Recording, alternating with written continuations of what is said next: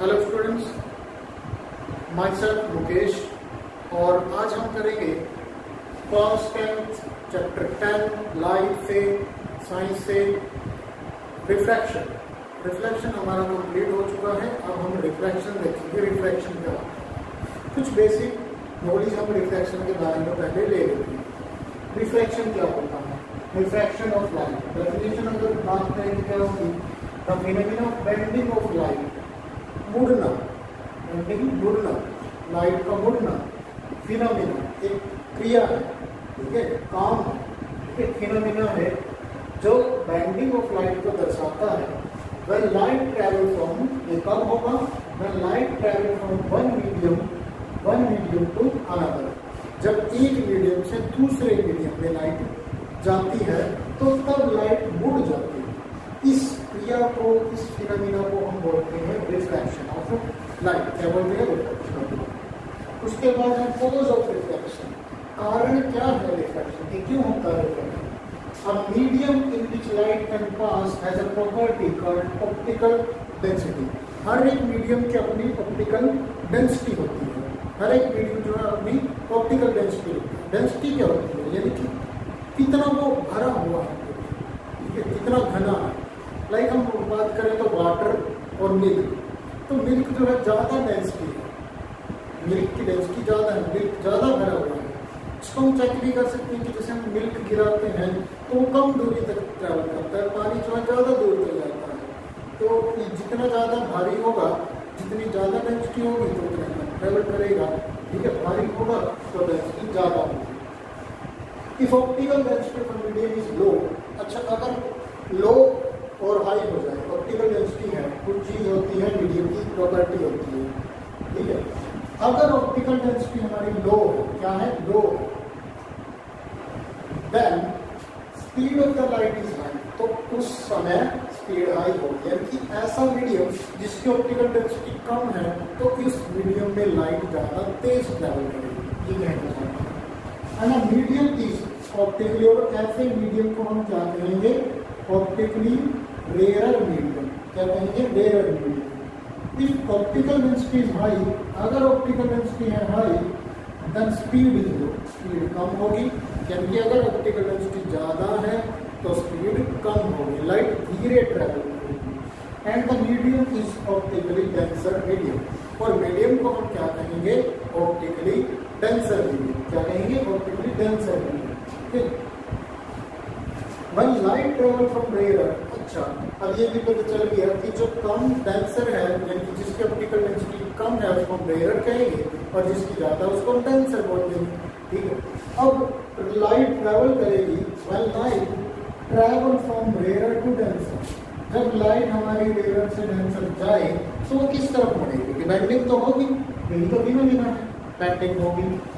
ठीक bends towards the normal वो normal की तरफ़ मुड़ जाएगी। ये नॉर्मल क्या होता है? नॉर्मल होता है परपेंडिकुलर ठीक परपेंडिकुलर जिस पॉइंट पर टकराई उस पर परपेंडिकुलर बना when light travel from denser to rarer, जब डेंसर से रेयर जाएगी तो तब कहाँ जाएगी? अवे फ्रॉम नॉर्मल नॉर्मल से दूर। ठीक है? ये हमें दिखा रखा।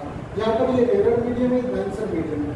लाइट यहाँ से आई और ये नॉर्मल हमने इस पॉइंट पे टकराई तो इस पॉइंट पे हमने क्या किया? परपेंडिकुलर बना दिया। नॉर्मल बना दिया।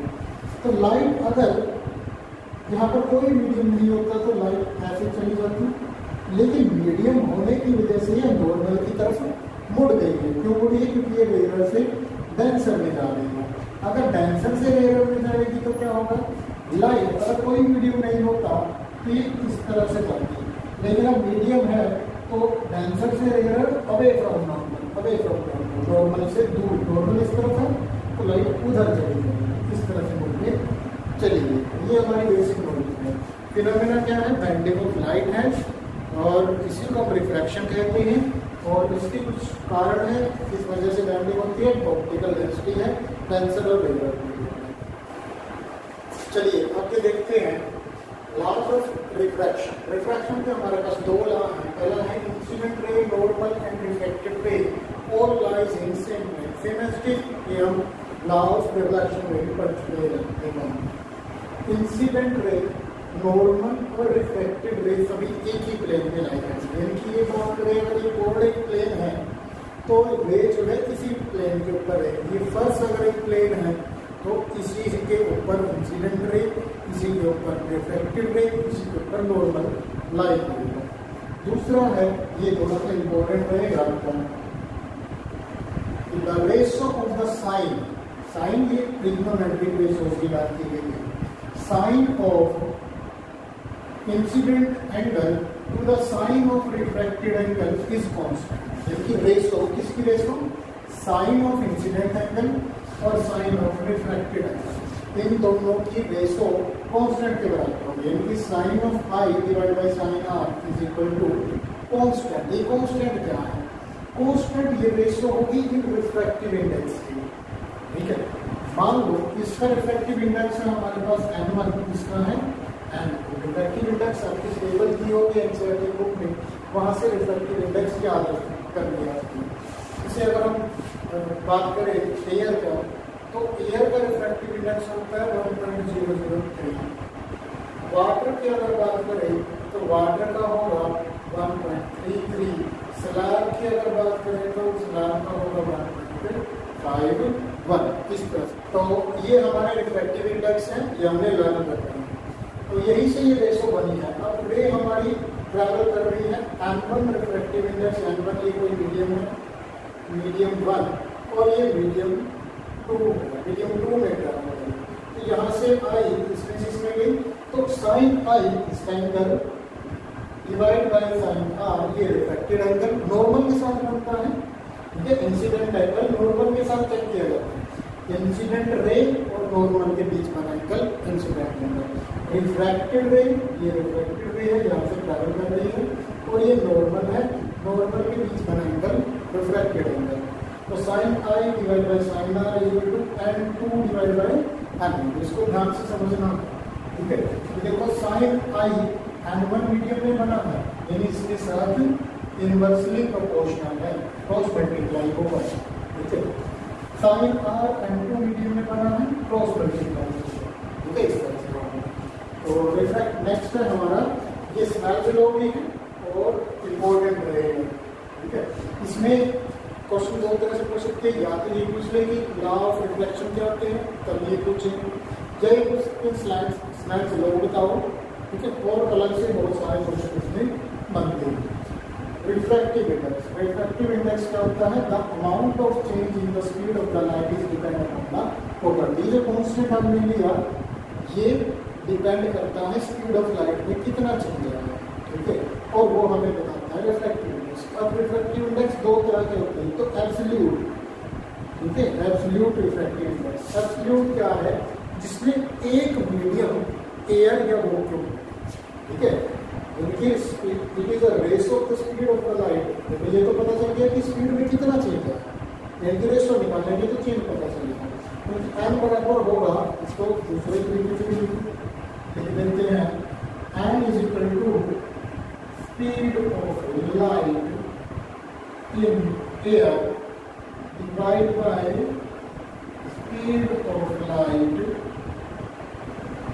medium इनकी रेशो जब हम एक मीडियम एयर या वॉक्यूम ले रहे हैं तो वहाँ पे एब्सोल्यूट रिफ्लेक्टिव इंडेक्स बनाना, दूसरा होता है reflective relative reflective index relative यहाँ पर दोनों ही मीडियम है। मान लो मीडियम वन है हमारा ग्लास और मीडियम टू है हमारा फाइव इस तरह से दो अलग अलग मीडियम तो यहाँ पर इनकी रेशो हमें क्या बताएगा?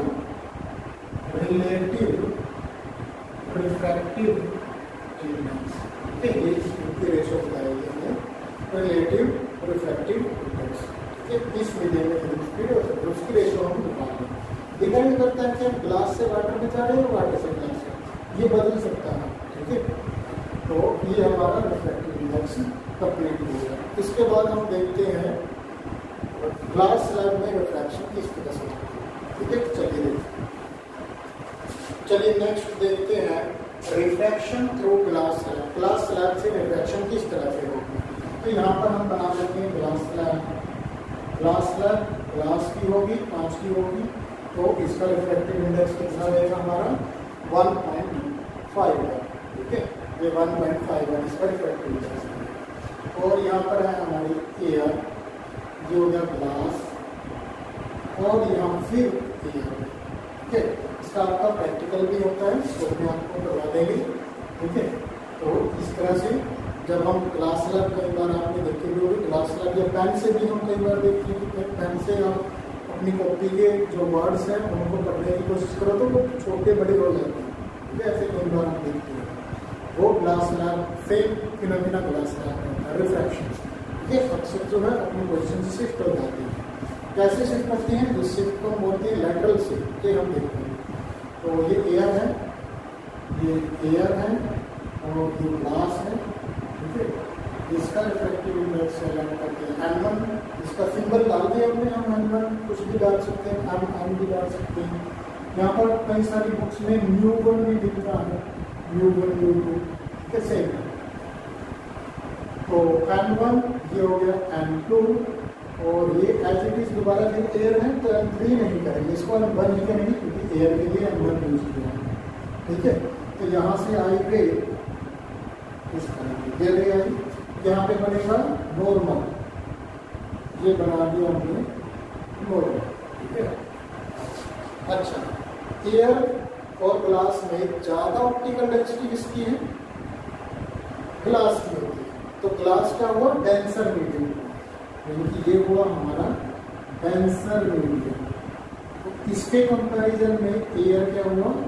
रेयर मीडियम अच्छा इंसिडेंट रे और नॉर्मल के बीच बना एंगल इंसिडेंट एंगल तो अब जब रेयर से डेंसर में जा रही है तो लाइट किस तरफ़ बैंड होगी नॉर्मल की तरफ़। अगर यहाँ पर कुछ भी नहीं होता तो ये रे ऐसे पास करती, क्योंकि अब यहाँ पे ग्लास स्लैब है तो ये रे जो है बिल्कुल ही मुड़ जाएगी इस तरह से।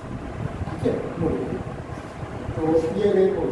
यहाँ पर ये है हमारी रिफ्रैक्टेड सी है रिफ्रैक्टेड रे तो ये हो जाएगा हमारा एंगल आर ठीक हो जाएगा एंगल आर यहाँ फिर एक पॉइंट आया है। यहाँ पे मीडियम ये चेंज हो रहा है ना, ये ये अलग मीडियम है, ये डेंसर मीडियम है, ये रेयर मीडियम ठीक है? इसका रिफ्रैक्टिव इंडेक्स एन टू है, इसका एन वन है। तो यहाँ पे फिर एक नॉर्मल बनाना पड़ेगा। ये नॉर्मल बना देते हैं। दोबारा फिर बनाना पड़ेगा ना, जहाँ पे मीडियम चेंज होगा वो नॉर्मल बना लेंगे। तो अब यहाँ पर क्या होगा, ये मीडियम है, ये रेयर मीडियम है। एयर या फिर एयर आ तो एयर में क्या होगा रेयर होगा। तो से जब रेयर में जाएगी तो क्या होता है अवे फ्रॉम नॉर्मल नॉर्मल से दूर। अगर यहाँ पर कुछ भी नहीं होता तो यहाँ से पास करती, क्योंकि अब मीडियम चेंज हुआ है। मीडियम चेंज हुआ है तो ये नॉर्मल से दूर है। ठीक है। और ये फिनोमिना हम चेक करते हैं कि ये जो रे यहाँ से इंसिडेंट रे हुई थी और ये जो रे इसको हम बोलते हैं अमरजेंट रे ये रिफ्लेक्टिव रे है, ये इंसिडेंट रे ये एमरजेंट एमरजेंट होता है निकलने वाला स्लैब से जो रे होती है। तो अमरजेंट रे और इंसिडेंट रे दोनों एक दूसरे के पैरेलल मिलती हैं। होती हैं? पैरेलल होती हैं। ये पैरेलल ही बनती हैं। ठीक है आप चाहे तो स्केल के साथ इसको चेक कर सकते हैं। एंगल वगैरह चेक करेंगे अब यहाँ पर ये एंगल क्या बनेगा? वैसे तो इंसिडेंट बनना चाहिए था इसके कंपैरिजन में। ठीक है? लेकिन अब ये देखो, ये नॉर्मल और ये नॉर्मल स्लैब तो हमारी क्या है? पैरल है ना? ये ये दोनों लाइन जो है पैरेलल है। तो इस पे जो परपेंडिकुलर बनेगा और इस पे जो परपेंडिकुलर बनेगा, दोनों बराबर होंगे। और ये और ये पैरल होंगे। है सेम होगा ना नाइन्टी यहाँ पे बनेगा नाइन्टी यहाँ पे बनेगा तो ये दोनों पैरेलल हो जाएँगे। अब ये दोनों पैरेलल हैं। तो दो पैरेलल लाइन के बीच में जो अल्टरनेट इंटीरियर एंगल होते हैं, वो कैसे होते हैं? इक्वल होते हैं। ये यहाँ पे देखते हैं?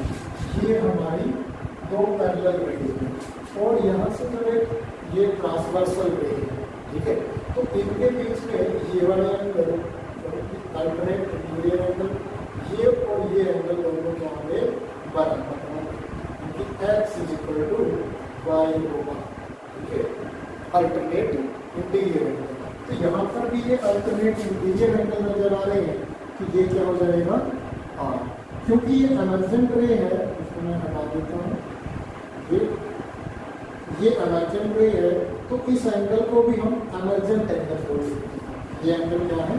एमरजेंट एंगल पर आप नॉर्मल नॉर्मल और अच्छा ये और ये भी बराबर होते हैं, वो हम देखेंगे। ठीक है? अब पहले हम इस केस की बात करते हैं। एन वन से जब एन टू में गई स्नेल्स लॉ से क्या होगा? बाय स्नेल्स लॉ पहला रिफ्लेक्शन हुई है इसके according n one sorry n one से एन टू में गई है तो एन टू ऊपर आएगा एन वन नीचे, और sine of i divide by sine r के बराबर बता रहा कि जो आई है आई यहाँ पे एंगल बना इसका रिफ्लेक्टिव इंडेक्स एन वन है। तो दोनों क्रॉस मल्टीप्लाई यहाँ पे आर बना है और इसका रिफ्लेक्टिव इंडेक्स एन टू है, ये क्रॉस में है। ठीक है? तो n two by n one किसके बराबर है? Sine i by sine r अभी तक सही चल रहा है? ये एंगल समझ आ गए कि दो पैरेलल लाइन के बीच में ट्रांसवर्सल लाइन लगाई हुई है तो अल्टरनेट इंटीरियर एंगल क्या होंगे बराबर होंगे। तो अगर ये आर किया है तो इसको आर नाम देना पड़ेगा ठीक है? ये हो गया। ये तो हो गया फ़र्स्ट केस केस सेकंड की अगर हम बात करें तो यहाँ फिर रिफ्लेक्शन हुई है। अब एन टू से एन वन में गई है। तो एन टू से एन वन में गई है तो एन वन को लिखो ऊपर। एन टू को नीचे बराबर होगा। यहाँ पे एंगल कितना है? Sine r. ठीक है? इंसिडेंट एंगल कितना से? ये वाला। ये इंसिडेंट एंगल है। Sine r divide by sine e ठीक है? फिर वही चेक कर लेते हैं। यहाँ पे एंगल कितना बना है? आर और इस मीडियम का रिफ्लेक्टिव इंडेक्स है n two cross sine r n two यहाँ पे एंगल कितना है? ई और इसका medium reflective index n one cross कर ठीक है? अब यहाँ पे n two by n one है, यहाँ पे n one by n two है। इसको हम चेंज कर देते हैं। इसको हम n two by n one करें n two by n one करें तो ये किसके बराबर होगा? Sine e by sine r के बराबर होगा। होगा ये हमारी इक्वेशन वन हो गई ये हो गई इक्वेशन वन और ये हो गई इक्वेशन टू ठीक है? इसको हमने चेंज कर दिया n one by n two था sine r by sine e तो n two by n one कितना हो जाएगा? Sine e by sine r अब देखो, यहाँ पे भी n two by n one है, यहाँ पे भी n two by n one है। ये बराबर है साइन आई बाई आर के और ये बराबर है sine e by sine r के। तो ये दोनों आपस में भी बराबर होने चाहिए। होने चाहिए ना from equation one and two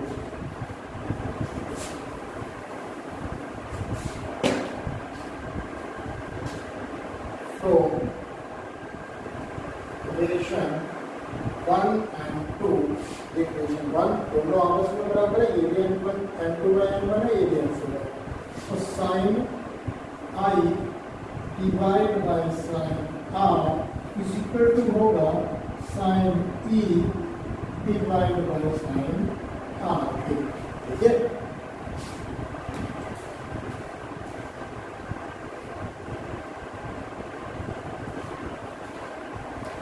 sine i divide by sine r equal होगा sine e by sine r देखो, ये दोनों बराबर हैं गए यानी कि साइन, आई किसके बराबर आएगा?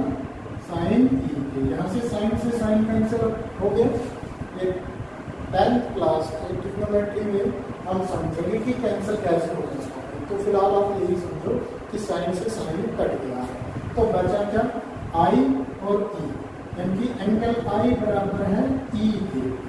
है। बहुत इंपॉर्टेंट इक्वेशन है ठीक है यहाँ से पता चलेगा कि पैरेलल है। देखो आई किसके बराबर है? ई e के। यानी कि ये दोनों लाइन क्या है? पैरेलल है। मैं इनको एक्सटेंड करके देखती ये इंसिडेंट रे एक्सटेंड कर देती है। ठीक है? ये एक्सटेंड करती है। और ये ऐसे। ये जो नॉर्मल है, ये दोनों के लिए सेम हाँ?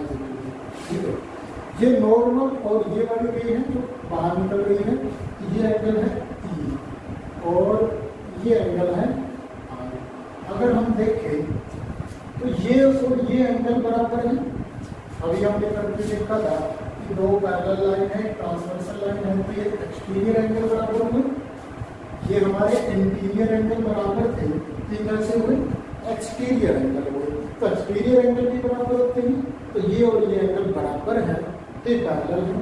इनकी दो पैरेलल लाइन है तो एक्सटीरियर एंगल बराबर होंगे। अगर एक्सटीरियर एंगल बराबर है तो पैरेलल होंगे। कन्वर्स भी पॉसिबल है। दोबारा सुनो। अगर दो पैरेलल लाइन है तो उनके एक्सटीरियर और इंटीरियर एंगल बराबर होंगे। अगर एक्सटीरियर और इंटीरियर एंगल बराबर हैं तो वो पैरेलल होंगी। इनकी ये रे और ये रे पैरेलल है। तो ये जो रे पास कर रही है, और ये रे पास कर रही है दोनों क्या है? पैरेलल है ठीक है एमरजेंट रे और इंसिडेंट रे क्या है? Parallel so incident ray